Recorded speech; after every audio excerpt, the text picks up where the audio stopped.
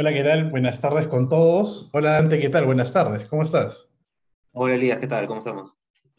¿Qué tal? Buenas tardes, bienvenidos a todos y a todas eh, a esta nueva edición de Sábados Laborales. Es nuestro segundo episodio de la segunda temporada, eh, en donde estamos dedicándonos ahora, eh, Dante, a ver todo lo que es, eh, digamos, la materia básica del derecho del trabajo, lo que son los principios, cuál es la forma de utilizarlo, cómo podemos encontrarlo quizá eh, materializado en alguna sentencia, cuáles son los parámetros que utilizan las cortes eh, y de repente incluso eh, a- alguna norma que lo recoja desde el punto de vista legal, ¿no?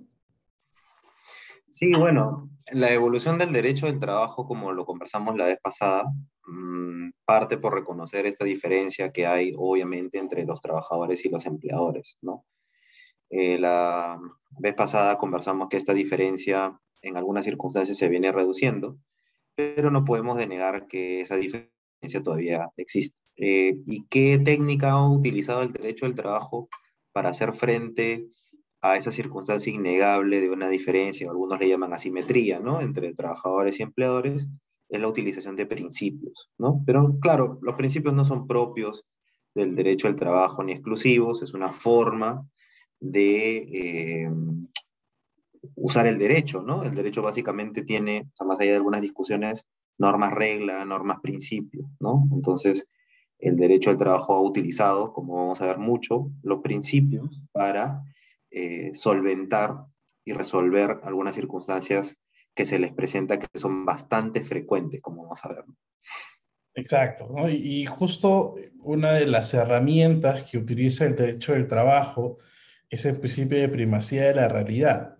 Que, es un principio que quizá eh, es, es bien utilizado en materia laboral, es cierto, inspectores, jueces, pero que tiene un, un paso previo, ¿no? Incluso si revisamos el Código Civil, vamos a encontrar alguna redacción que nos indica, por ejemplo, en todo contrato en donde exista la entrega de un bien y el pago por el mismo, se entiende que es un contrato de compraventa.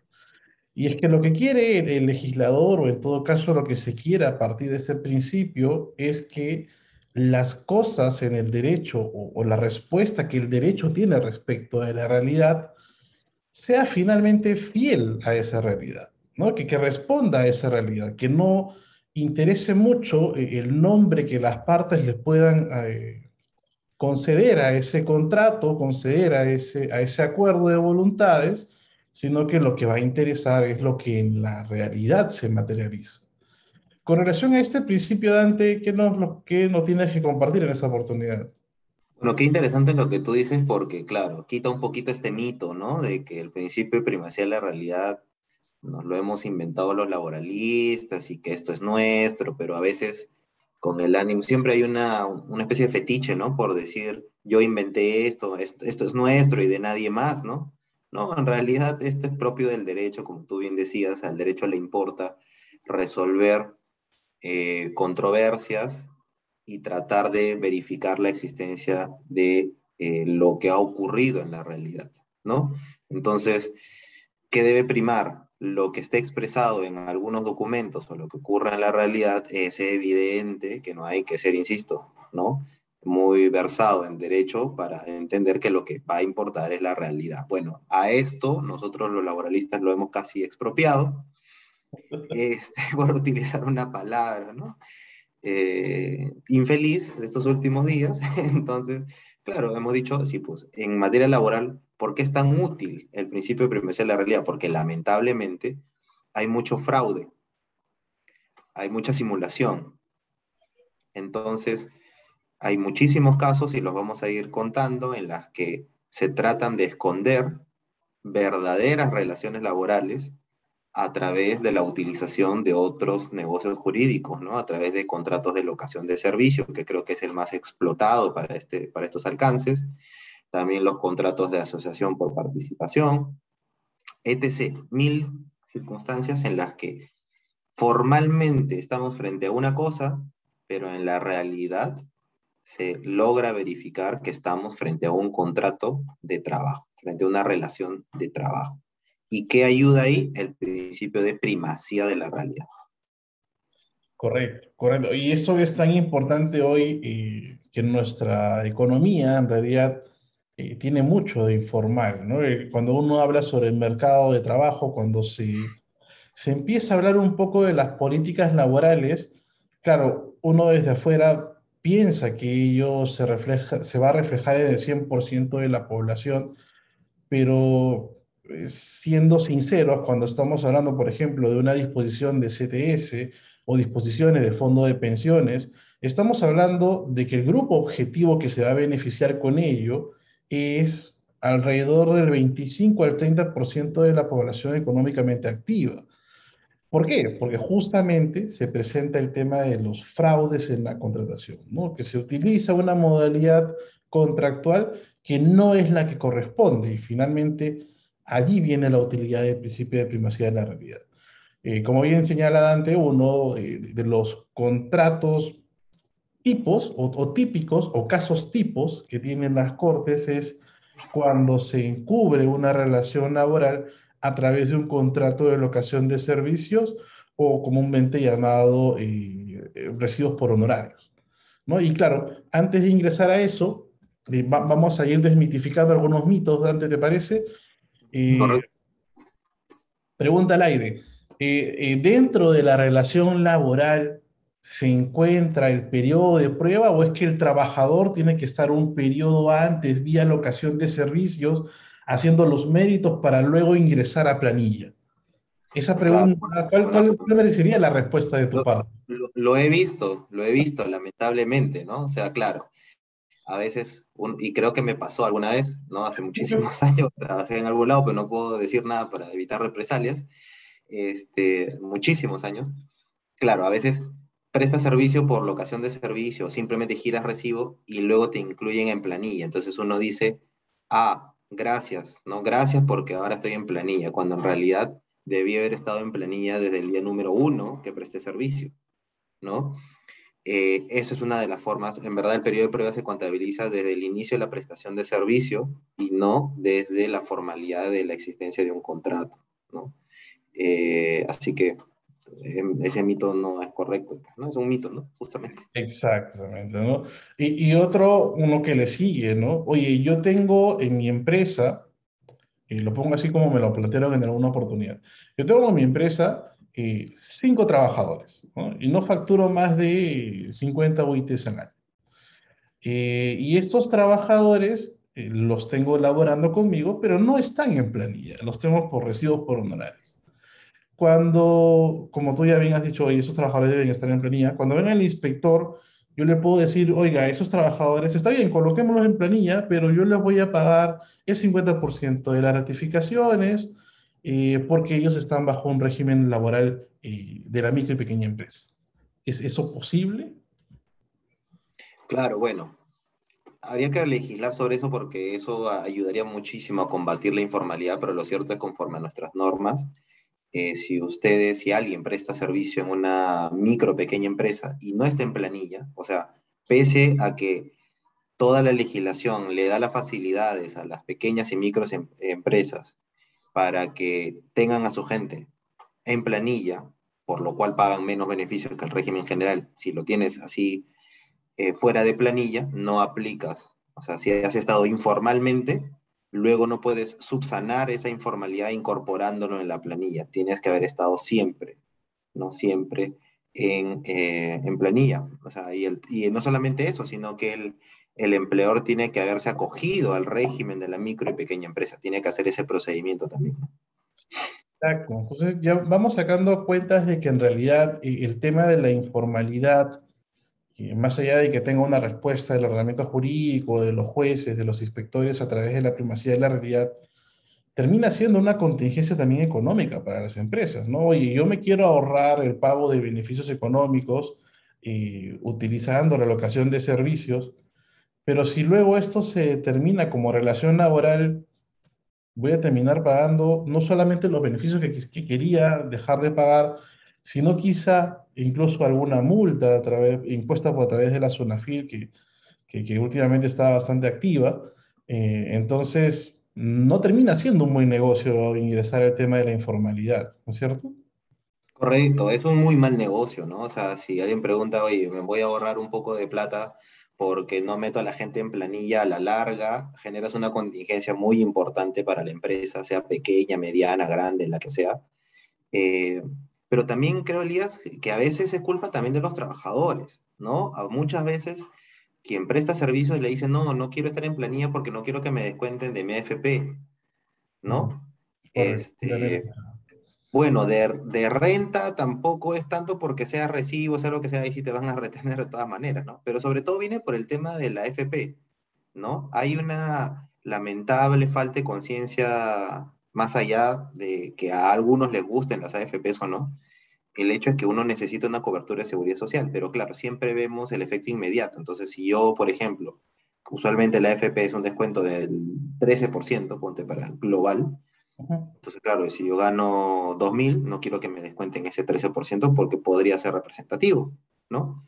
Exacto. Este, y entonces me llevo el dinero líquido, pero la empresa va a enfrentar luego más consecuencias por haber hecho esa circunstancia. Lo que tiene que hacer es hacerle entender y todos entender que la mejor manera de prestar servicios es estando en planilla. Eso no lo tenemos claro porque en nuestro país hay un 70% de informalidad. O sea, de cada 10 personas que trabajan, 7 no están en planilla. Entonces, imagínate eh, cómo estamos, ¿no? Correcto, correcto. Entonces, vamos ya sacando algunas pequeñas conclusiones con el tema de que no es algo, no es un buen negocio, es sumamente contingente. Y, y vayamos ingresando a este tema de cómo encuentra la aplicación o cuál es el, terreno sobre el cual se puede aplicar el principio de primacía de la realidad. ¿Qué es lo que busca el principio de primacía de la realidad?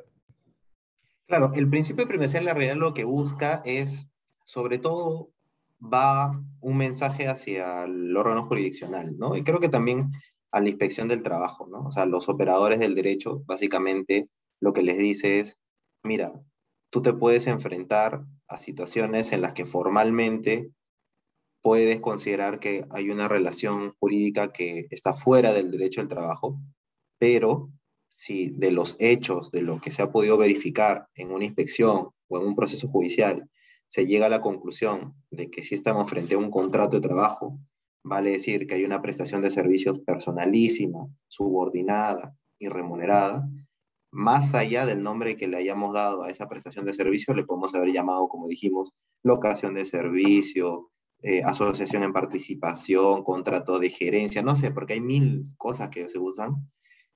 Deberás llamarle a eso un contrato de trabajo y la existencia de una relación laboral, ¿no? Básicamente ese es un poco el mensaje.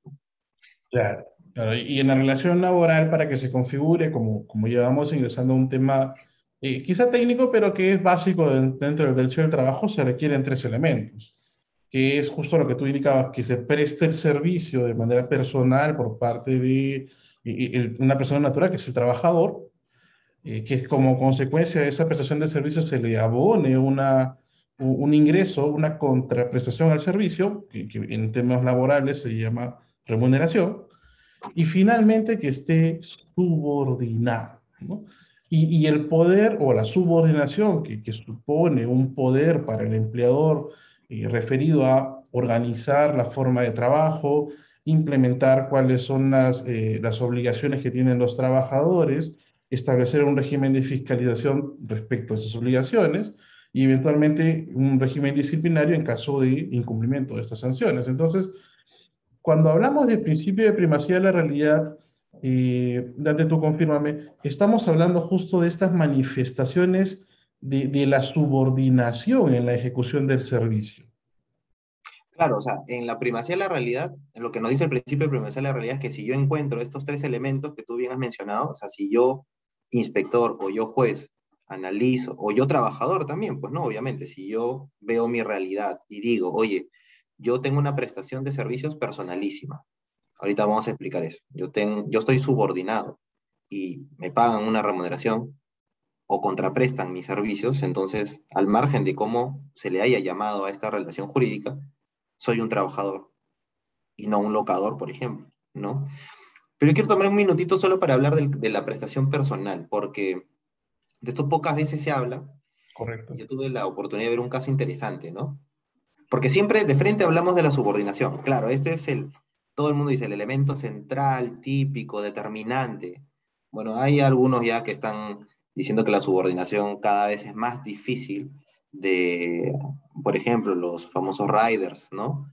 Este, los que vienen en rap y, ¿no? Tenemos una propuesta legislativa para ya reconocimiento de beneficios, ¿no? Que hay una propuesta, entonces ese caso es muy difícil de determinar si esas personas son trabajadores bajo el canon clásico, ¿no? Que estamos hablando. Pero más allá de eso, la prestación personal.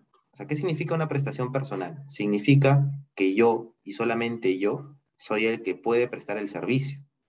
Entonces, por eso es que, claro, supongamos, si usted trabaja en un banco, usted trabaja, no sé, en una fábrica, lo que fuera, usted no puede decirle a su empleador, mira, mañana no vengo yo, viene mi primo, ¿ah? me va a reemplazar mi primo.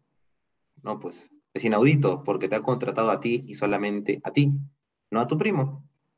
Entonces, es una prestación intuito persona, ¿no? Un caso que, ocurrió, por ejemplo, que, que, yo vi que es interesante, es el de los médicos, ¿no? Los médicos, así como los abogados, son profesiones que pueden ser independientes o pueden ser dependientes, ¿no? Un médico también, o sea, un médico puede ser el médico del staff de una clínica o puede ser un médico autónomo. ¿Y qué pasaba? Esta era una doctora que trabajaba en medicina física de una conocida clínica de este país. Entonces, eh, la cosa es que, bueno, terminó la prestación de servicios y siempre estuvo por recibo por honorarios y luego demanda el pago de beneficios laborales, ¿no? Obviamente solicitando la aplicación del principio de primacía de la realidad. Justamente este tema. Pero ¿cuál era el dato del caso interesante? Que esta doctora, en varias oportunidades, no sé, pues dos o tres, no había asistido a laborar y había mandado a trabajar a alguien de su confianza. O sea, pongamos, comunicaba, ¿no? Estimados, por si acaso, la próxima semana yo no voy a venir, va a venir la doctora X, que es de mi total confianza y me va a reemplazar. Saludos. Entonces, claro, se puede hablar de una prestación personalísima si el trabajador tenía, el supuesto trabajador, ¿no? El supuesto trabajador tenía la posibilidad de ser reemplazado por quien él determinara. Correcto. Entonces, claro, eso desvirtúa la prestación de servicios y impide la aplicación del principio de primacía de la realidad, porque no se cumple uno de los tres elementos para acreditar una relación de trabajo, ¿no? Entonces, cuidado, siempre también hay que atender a este tema de la prestación personalísima, ¿no? Exacto. Otro de los temas que, también justo con relación a la prestación personalísima que alguna vez pudimos ver, Dante, era este tema del trabajador que a su vez es empresario. ¿no? Oye, estoy en una locación de servicio, imaginemos, ¿ah? por ejemplo, eh, soy eh, la persona que va a brindar un soporte de sistemas hoy que estamos en un tema de, trabajo remoto, voy a dar un soporte de sistemas eh, a, la empresa X eh, y claro, eventualmente también le vendo a esta empresa algunos software, algunas impresoras, algunas PCs que yo también tengo como parte de mi actividad económica, como yo en realidad no solamente doy soporte técnico o soporte de redes, sino también tengo una empresa que vende computadoras, que vende impresoras. Entonces, empiezo a hacer esta, esta actividad como una actividad integral, pero de negocio propio. ¿No? He visto muchos casos donde dice, oye, no, en realidad yo he sido subordinado, yo me encargaba de revisar todas las redes, yo creaba los correos electrónicos, es más, yo tenía un correo electrónico que me había creado, eh, pero oye, venga, este, tú en realidad, si revisamos el contexto completo, tú eras un empresario. Y también, como el caso que tú comentas, eh, esta persona podía designar, oye, tal persona va a ir en esta oportunidad a hacer la revisión o a, apoyar en el soporte eh, de, las redes, en el mantenimiento de las redes de la empresa. Y claro, eso está en el camino de que, oye, esto es personal, es personalísimo, y en realidad es el trabajador como persona natural o es ya es una, una empresa la que está brindando el servicio, ¿no? Y esos son elementos que se determinan en el juicio, ¿no? que, o en todo caso ante la inspección del trabajo, pero no siempre el hecho de que yo pueda emitir recibos por honorarios en favor de una empresa, eh, no siempre va a determinar que sea como una prestación personal como persona natural, sino que puede ser parte de mi negocio. Y eso también lo que hace es quebrar el carácter personalísimo de, de la prestación de servicios y por tanto no hay una relación de trabajo.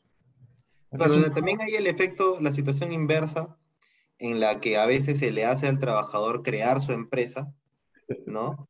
¿No? O sea, se ha visto, ¿no? O sea, le he dicho, oye, crea una IRL, ¿no?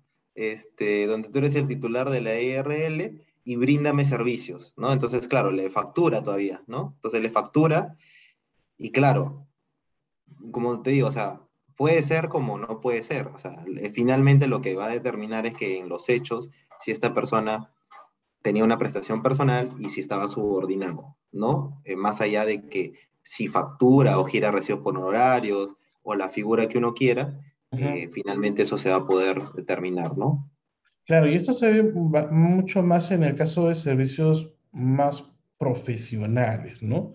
Tú has hablado del tema de un médico, de, una, de una, doctora, eh, el caso de, del encargado de sistemas, o, por ejemplo, una nutricionista, ¿no? Que no necesariamente va a estar al 100% en una empresa, sino que parte de su actividad profesional puede manejar varias empresas, eh, o como un médico ocupacional también, ¿no? Varias empresas como clientes. Eso que tú mencionas me hace acordar que, claro, uno cuando habla de remuneración, uno automáticamente dice, claro, este elemento ya está acreditado porque siempre hay una contraprestación. O sea, por ejemplo, yo soy, no sé, brindo servicio para una empresa, estoy en locación de servicio, claro, me pagan un monto cada mes que presto mis servicios o cada vez que presto mis servicios.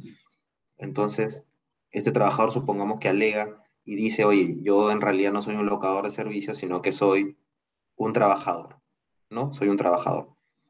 Eh, pero hay a veces una particularidad a propósito del caso de la nutricionista que tú mencionas. ¿Qué pasa si el trabajador, por ejemplo, el que se alega trabajador, tiene la potestad de determinar sus propios honorarios por cada servicio? O sea, por ejemplo, si en un caso en concreto, ¿no? Eh, una persona te dice, mira, si yo te brindo este, este, este y este servicio, yo te cobro tanto por cada servicio, ya no parece que estemos frente a una relación laboral, porque lo usual de la relación laboral es que hay dos formas de pago, a destajo o por tiempo. Usualmente es por tiempo. Entonces, si tú eres mi abogado, por ejemplo, te voy a pagar el mismo monto cada mes, sea que trabajes poco o sea que trabajes mucho. Si eres mi nutricionista, te voy a pagar el mismo monto todos los meses, seas que trabajes mucho, sea que trabajes poco. Pero si Tú como abogado le dices, mira, por una apelación yo te cobro tanto, por una casación yo te cobro tanto. Ya parece que en realidad eres independiente. Tú mismo estás determinando la forma y precio de tus servicios. Entonces, atención con eso. Eso también es una de las maneras de desvirtuar la existencia de una relación laboral. Eso, es muy cierto. Eso es un claro ejemplo en donde yo no, no aplicaría. Y, el segundo elemento de la relación es la remuneración, que como tú bien decías, ahí entra el ejemplo de, oye, si el trabajador o quien se dice ser trabajador puede determinar cuáles son los montos, entonces no, no, estamos hablando de una remuneración mensual eh, típica de una relación de trabajo, ¿no? Ahí estamos hablando ya prácticamente de un pacto de honorarios o, o un pacto por los servicios específicos que se han contratado. Correcto, Bueno, y finalmente está el siempre recordado, eh, la siempre recordada subordinación, ¿no? O sea, ¿qué significa estar subordinados? Significa básicamente de que una persona está sujeta a los poderes clásicos de todo empleador, ¿no? O sea, si, tú, si a quien tú le prestas los servicios te sanciona, te fiscaliza, ordena tu trabajo, ¿y cómo se representa esto? Si tú tienes un horario de trabajo, si tú este, recibes órdenes, si tú eh, eres sancionado, eres felicitado, etc. Esos son, como le dice la doctrina, eh, rasgos sintomáticos de la relación laboral. ¿No? Porque, por ejemplo, si tú eres un autónomo, si tú eres un abogado independiente, por ejemplo, pues ¿por qué tendrían que, sancionarte? No te van a sancionar, simplemente ya no te contratan sea, te sancionan porque eres un trabajador. No tienen por qué felicitarte tampoco, porque estás haciendo tus servicios. Eh, no tienes un horario. Como abogado brindas los servicios en el momento que puedes y que tú lo estableces. Pero si sí te ponen un horario, si tienes un jefe, si recibes órdenes, si estás fiscalizado, ah, bueno, esto parece parece ser más una relación laboral que una relación eh, extralaboral. Claro, o lo que a veces ocurre, ¿no? El tema de te, te entrego un certificado o una constancia de prestación de servicios. Oye, ¿cómo puedes entregar una constancia de prestación de servicios? Eso también como que lo pone en el en el límite. No es que estés eh, prohibido de hacerlo, ¿eh? No, no hay una norma que lo prohíba, pero prácticamente es un reconocimiento de una, un periodo de tiempo, por lo general, constante, en donde esta persona ha realizado una labor específica para ti, ¿no? Con lo cual eh, se facilita en todo caso la, la, posibilidad de identificar una relación laboral, que, que, son cosas que no deberían ocurrir si es que la relación fue de, de forma autónoma. Sí, o sea, una constancia de prestación de servicio no tiene ningún sentido, ¿no? O sea, una constancia de trabajo obvio, pues además que está legislado, ¿no? Una constancia de prestación de servicios. Si tengo mi contrato, o en todo caso tengo mis recibos, ¿para qué necesito una constancia de prestación de servicios? Este, llama la atención, ¿no? Pero a uno lo ve y dice, bueno, si me pidieran un consejo, yo diría que no lo hagan, ¿no? Que no, lo, que no emitan ese tipo de, de documentos porque puede perjudicar, ¿no? En todo caso a la empresa. Correcto, correcto. ahí, hay varias, varias cosas porque siempre eh, hay elementos que, que, no, no necesariamente vas a encontrar una prueba determinante, ¿no? Oye, siempre son un conjunto de elementos que, que se juntan para ver este, efectivamente si se configura o no la subordinación. Como tú bien decías, eh, quizá el tema de colocar mi posición dentro del organigrama de la empresa Claro. Soy un locador de servicios. O que mi puesto eh, como locador, las funciones que yo realice también sean realizadas por un trabajador dependiente.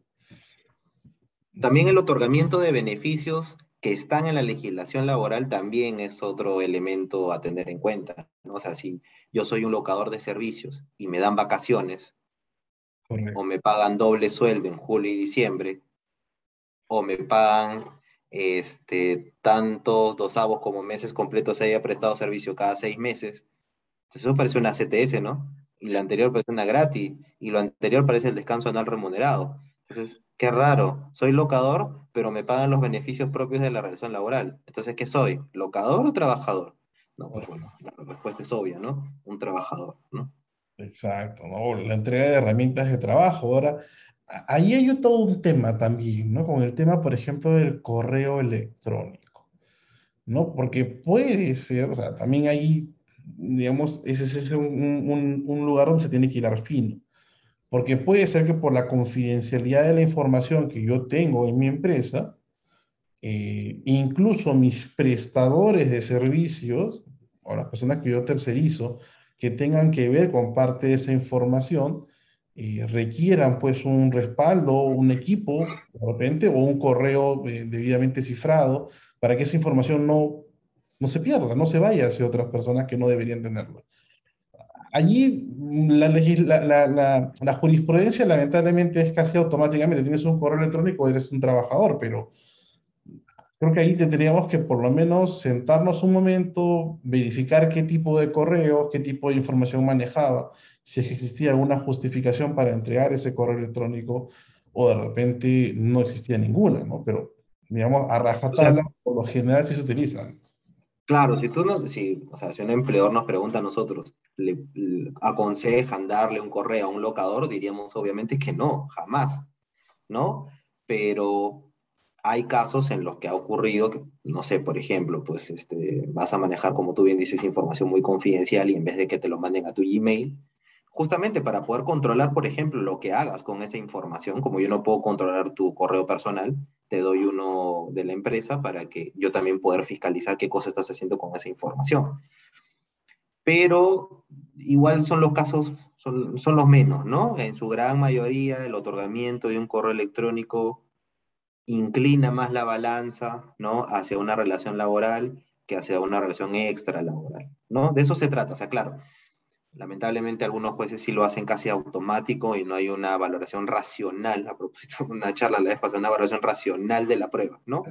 Si no es casi intuitiva, no, pues hay que tener, hay que analizar en el caso en concreto, porque puede ser, puede ser que nos equivoquemos por hacer esa conexión casi inmediata, ¿no? Igual lo recomendable, si no, si en realidad no es tu trabajador y es un locador, pues no cometas esos errores, ¿no? No les des un correo electrónico, no le des, este, no lo felicites, no lo sanciones, porque eso hace creer y se verifica también que parece ser un trabajador y no un locador. Claro. O por ejemplo, la, la entrega de la canasta navideña. Claro, bueno, ¿no? Claro. Pero igual yo creería, o sea, a ver, si tú eres un abogado, por ejemplo, que vas por cada proceso que se te llama y te mandan tu canasta, ese hecho aislado, mm, o sea, por, por ejemplo, ¿no? Nosotros que prestamos servicio para varios clientes, un cliente te manda una canasta, no hace que yo me vuelva trabajador de ese cliente, ¿no? O sea, no, no, voy a demandar al cliente diciendo que soy su trabajador y siempre lo fui porque me mandaron una canasta en Navidad. Tu foto de la canasta.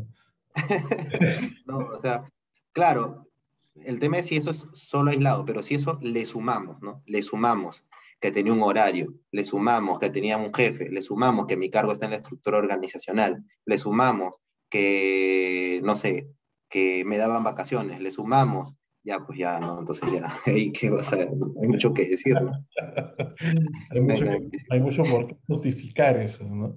Eh, pero ahora, otra pregunta eh, con relación a ese tema de la primacía. ¿Solo serviría para determinar relación laboral? ¿O en, qué no, en realidad el principio de primacía de la realidad sirve para identificar cualquier situación de fraude o de simulación.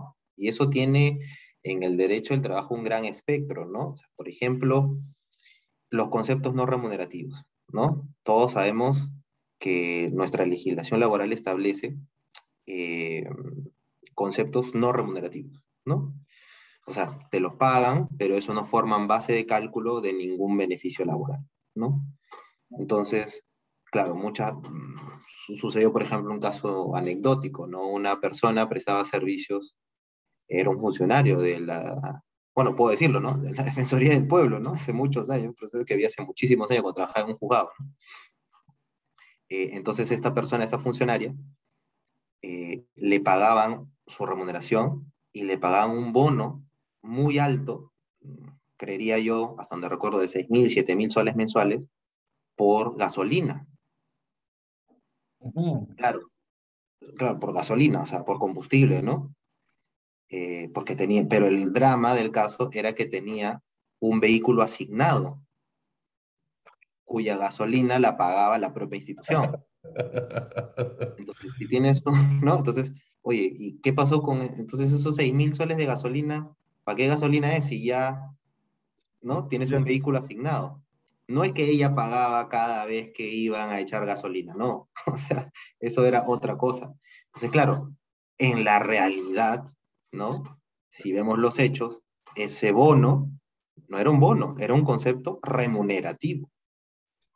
Entonces, por aplicación del principio de primacía de la realidad, se, debió, considerar que ese monto era, en la realidad, para la redundancia, parte de la remuneración mensual y eso tiene una incidencia, obviamente, en el cálculo de los demás beneficios, ¿no? Hay que hacer un recálculo de gratificaciones, de vacaciones, ETS, de la indemnización vacacional, indemnización propia arbitraria, etc. O sea, por eso, cuando hablemos de remuneración de oportunidad, cuidado con lo que, o sea, los conceptos no remunerativos son muy útiles, pero si están escondiendo una situación de simulada, o sea, si lo que estás utilizando es para simular un concepto no remunerativo cuando en realidad es remuneración, te puede generar bastantes consecuencias.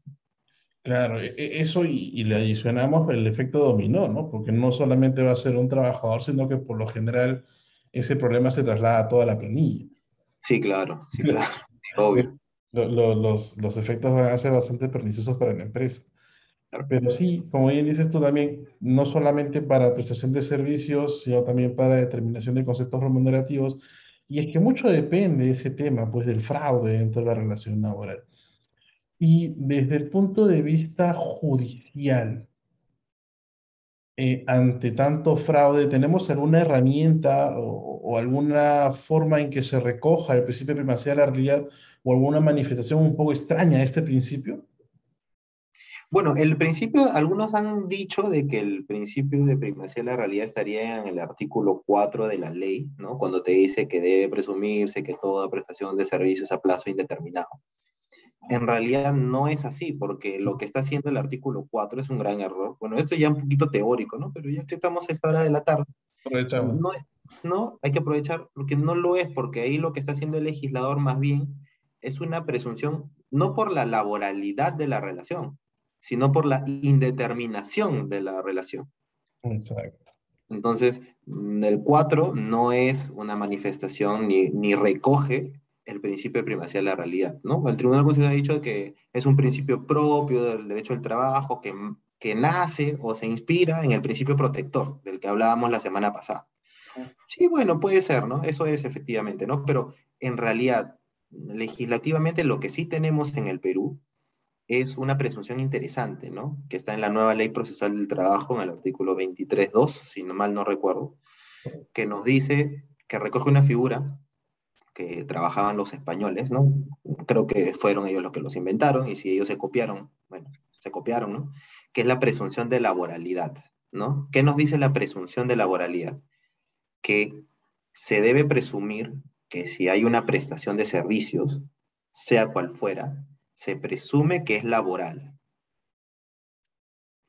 Obviamente, como toda presunción, es posible ser rebatida, pero ¿eso qué quiere decir? Que si alguien considera que su prestación de servicios en una locación de servicios, en un contrato de asociación por participación o en cualquier tipo de acto que brinde un servicio a otra persona, considera que es laboral, la ley establece que se debe presumir que así es.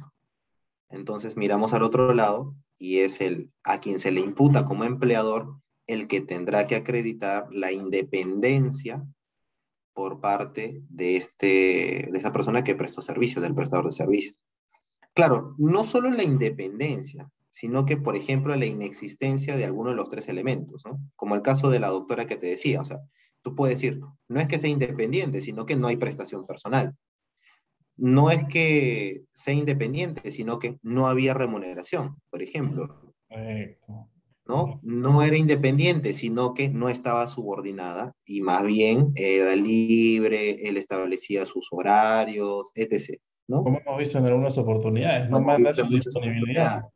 Claro, mando mi disponibilidad, entonces te convocan a una reunión, mira, la verdad que yo no puedo tal fecha, puedo la otra, porque ahorita estoy como que cargado con algunos clientes, entonces mira, nos vemos la otra semana. Ya, eso no es propio un trabajador. El trabajador le dices tal, se hace, ¿no?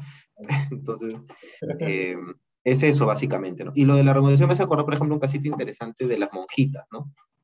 Claro. Este, siempre pregunto en clase digo, ¿toda prestación de servicios es remunerada? Entonces todo el mundo dice, sí, sí, porque está en la Constitución, ¿no? Dice, no hay servicio, eh, no hay prestación de, de, servicios que no sea retribuida, ¿no? Pero no es cierto, porque sí hay prestaciones de servicios que son, que no hay remuneración los bomberos voluntarios, las labores altruistas, los servicios religiosos, por ejemplo, las que van al INEN. ¿Quién no ha ido al INEN y ha visto que hay voluntariado? ¿no? Este, si mañana más tarde una persona del voluntariado demandara relación laboral, no es que el INEN tendría que decir que era independiente, no, lo que tendría que decir era que nunca hubo remuneración, ¿no? Igual, si alguien era una persona que prestaba servicio en un, en un colegio religioso, ¿no? y brindaba sus servicios para Dios y luego se le va ese amor por Dios y demanda relación laboral, ¿no? Este, lo que tendría que hacer el colegio no es decir que era independiente, porque no era independiente. Lo que tendría que decir era que era una labor altruista, que está fuera del marco de la relación de trabajo. Como igual que un bombero. Un bombero va a decir, no, oye, ¿verdad? Nunca me pagaron mi sueldo como bombero. Oye, pero era un servicio voluntario que a ti te hacía sentir digno, ¿no? y sobrevaloraba tu existencia sobre la base de la ayuda a los demás. No, pues es que no me pagaron mi sueldo. Es que no te tenían que pagar porque era, era parte del servicio, ¿no? Claro, ¿no? Entonces, eh, sí hay todavía algunos aspectos que discutir, pero obviamente la presunción de laboralidad ayuda muchísimo a los trabajadores, ¿no? Qué duda cabe. Ayuda muchísimo a que en una reclamación de reconocimiento de relación laboral se, la balanza ya venga inclinada ¿no? Ya bien inclinada a favor del trabajador, ¿no? Correcto. Y, algunos están demasiado eh, felices con esa presunción que incluso se, se, olvidan de la norma, ¿no? Yo recuerdo mucho a una eh, presidente de directorio demandando relación laboral cuando la propia ley general de sociedad dice que no hay una relación laboral entre el directorio y la empresa. Claro, justamente por esos abusos, ¿no? que en el Perú somos especialistas, ¿no? Sale una norma y hay que encontrarle, ¿no? Pues la vuelta a la ley. Entonces, claro, el tema es que, o sea, insisto, es una herramienta útil porque ayuda, inclina la balanza ya antes de la decisión, pero eso no significa pues que el juez sea ciego, ¿no? El juez tiene que investigar, que analizar, que verificar si realmente, y eso lo ha dicho la Corte Suprema, ¿no? Este, la presunción de laboralidad no es absoluta, es una presunción. Correcto. Entonces, igual el trabajador o quien alega que es un trabajador tiene que brindar, por lo menos a nivel indiciario, algunos elementos que hagan pensar que era trabajador y no un locador, por ejemplo. O sea, algo tienes que acreditar, o sea, no basta decir, mira, acá está mi recibo por honorario de 10 años de servicio y la presunción dice que soy, se debe presumir que soy trabajador. Ya, pero en 10 años no hay nada, en 10 años no tienes un correo, no tienes una llamada de atención, no puedes probar que estabas este, subordinado, nada, o sea, que tenías un horario, que tenías un jefe, nada, no hay nada. No, no es tanto así, no es tanto así, ¿no? Ya lo ha dicho la Corte Suprema, justamente por los malos casos de utilización indebida de la presunción de laboralidad es que ha dicho, si te acepto que se inclina la balanza, pero eso no enerva de que también tienes que hacer tu trabajo, ¿no?